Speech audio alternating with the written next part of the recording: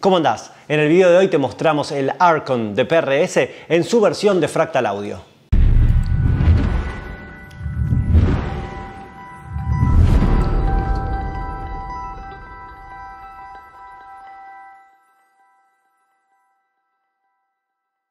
Uno de los últimos amplificadores que agregó Fractal Audio en todos sus nuevos productos es el Arcon de PRS. Vas a tener tres sonidos diferentes, uno que es el canal limpio, otro la distorsión normal y otro que es la distorsión en modo brillante o modo bright. Ahora vas a escuchar ejemplos de todos estos sonidos diferentes, pero antes no dejes de darnos un me gusta. Si todavía no lo hiciste, recordá que te podés suscribir a nuestro canal de YouTube haciendo clic sobre nuestro logo que te indica ahí la flecha roja. Vamos a los ejemplos. Lo que te ofrece el Arcon son dos canales distorsionados, el modo normal y el modo bright, y después tenés un canal limpio que increíblemente suena muy, pero muy bien, me da obviamente ese sonido que a mí me gusta medio ochentoso, noventoso, de canales limpios bien brillantes con bajos reajustados. Vamos a escuchar primero un poco el canal distorsionado normal, sí, que está perfecto para tocar metal.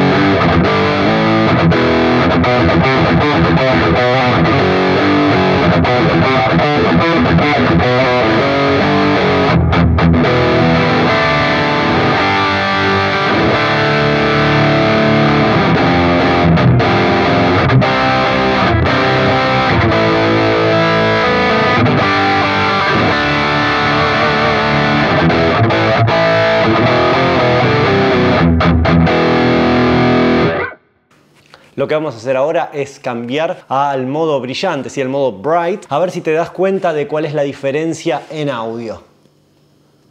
Ten en cuenta que todos los controles del ampli están exactamente iguales, simplemente cambia el modo de distorsión.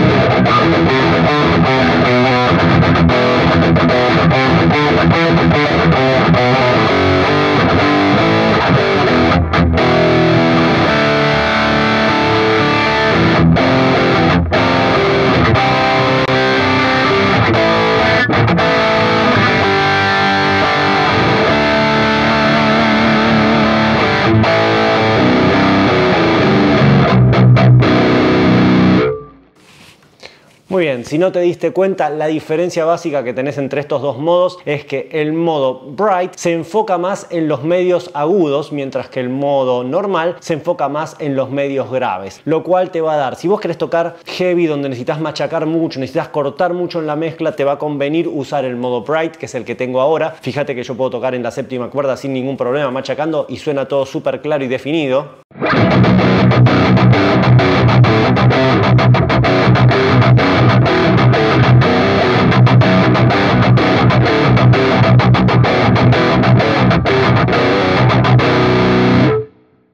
Si bien es súper distorsionado, bien grave, tenés total definición gracias al enfoque de los medios más en lo que es medios agudos. Cuando vamos al modo que teníamos antes, que es el modo normal, vas a ver que el enfoque está en los medios graves, lo cual está buenísimo por ahí si tocas algo un poco más pesado, con menos machaque, eh, algo más denso, sí, por ahí acordes abiertos y te va a sonar también súper definido, pero un poco más gordo.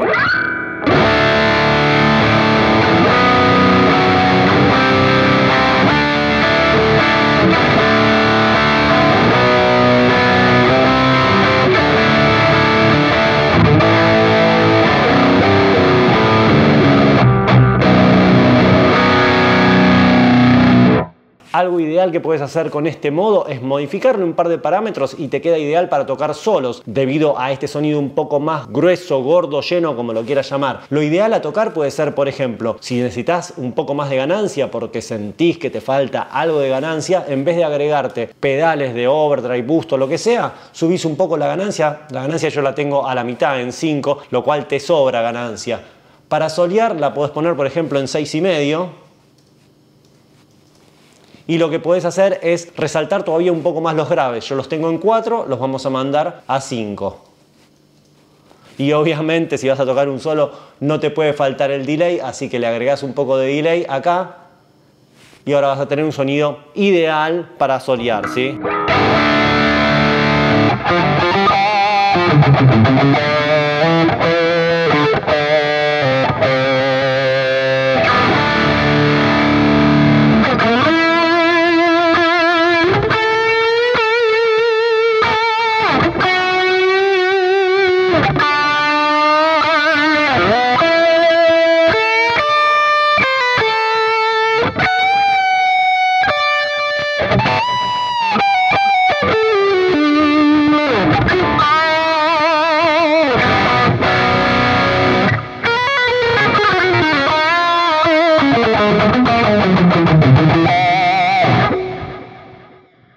Sí, podés tocar un solo tranquilo, no te va a faltar ganancia, tenés ese espectacular delay que te amplía todo, tenés un poco más de graves, sigue estando todo definido, es ideal. Pero bueno, no solamente te quiero hablar de canales distorsionados, ya que el canal limpio que te ofrece el Arcon de PRS es espectacular. Fíjense cómo lo tengo programado yo, tira toda esa onda de canal limpio medio noventoso, principio de los 90, ochentoso, sí, donde tenés graves bien ajustados y esos agudos que le dicen chimey, que son esos agudos muy brillantes y bien definidos que no suenan estridentes.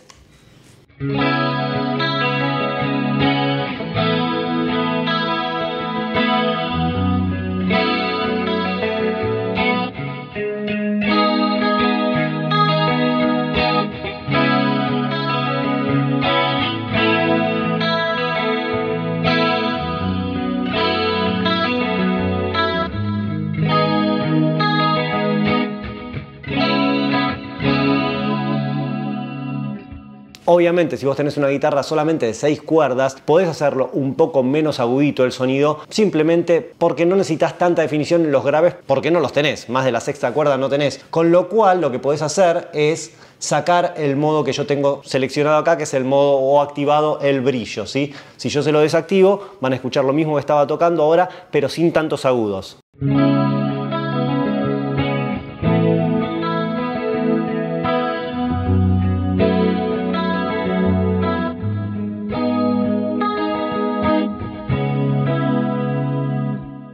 Esto te va a resultar más útil por ahí si querés tocar jazz o algo por el estilo.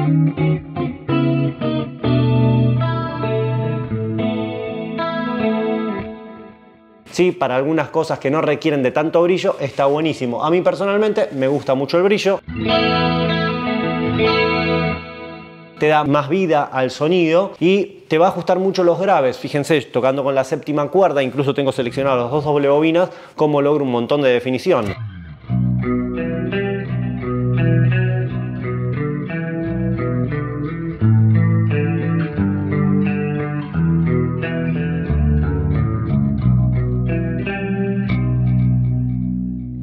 Graves, súper, pero súper ajustados. ¿Y qué pasa si tenés 8 cuerdas? Bueno, es ideal. Si no, mirá. ¡Tarán! Escucha ahora lo ajustado que suena la octava cuerda, sí, súper grave, como era de esperarse. Pero gracias a este excelente sonido en canal limpio no vas a tener problema de definición, ni que se te opaque todo y que no se entienda lo que estás tocando.